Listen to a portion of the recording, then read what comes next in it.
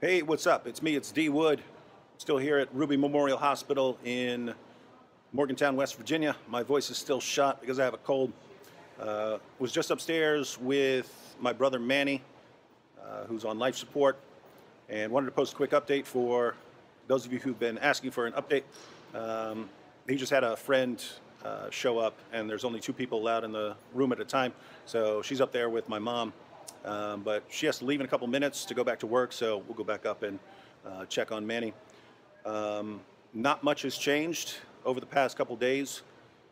Uh, the brain functions that he has so far are basically brain stem activities, so sort of the lowest part of your brain, things like reflexes or um, uh, pupils dilating, things like that.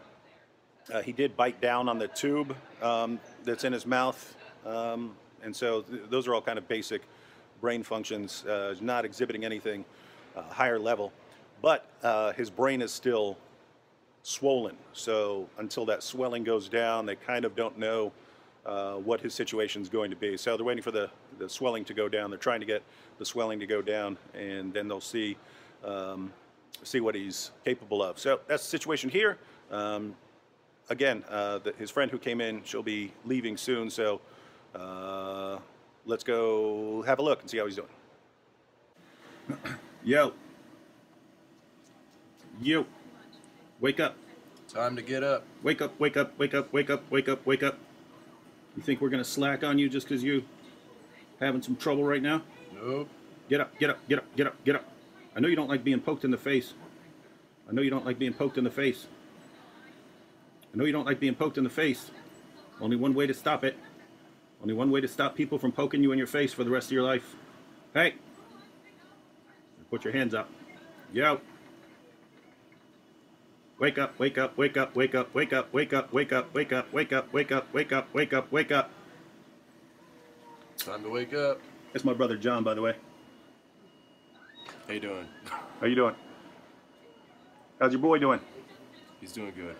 All right, awesome, man. He's getting big. Wake up. Come All on, right. bro. Better get used to this because we're going to keep poking you. until you wake up. ear. You've got so many nephews and stuff that need you around.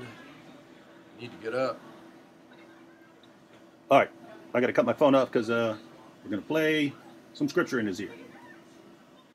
All right, so not looking great, but we'll know a little bit more once the swelling on his brain goes down. Uh, once we find that out, I'll update everyone again. If you're wise, you should be able to learn from these kinds of situations. Fun fact apart from some amazing case of divine intervention, 100% of you who are watching this are going to die.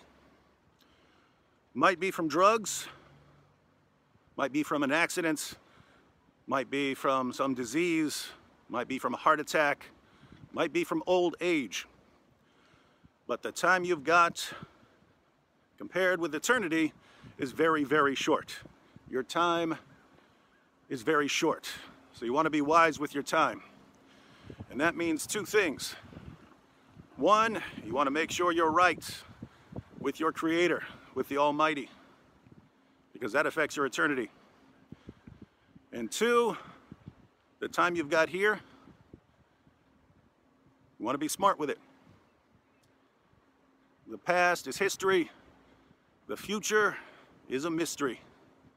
But every moment we have right now is a gift.